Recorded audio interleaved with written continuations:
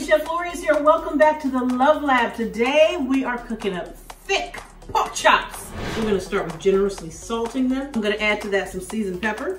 And here's some garlic powder, some onion powder. And here we go. You hear that? Just gonna put some butter in here as well. All right, let's get these babies into the oven.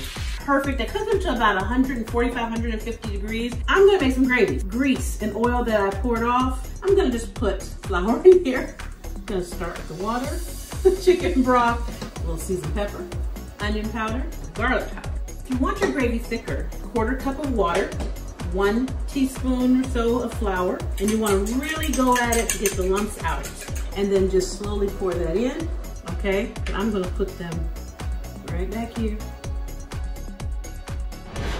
Have a great day, guys. I'll see you next time right back here in the Love Lab for more Calibama cooking with me, Chef Lorious Happy Cooking.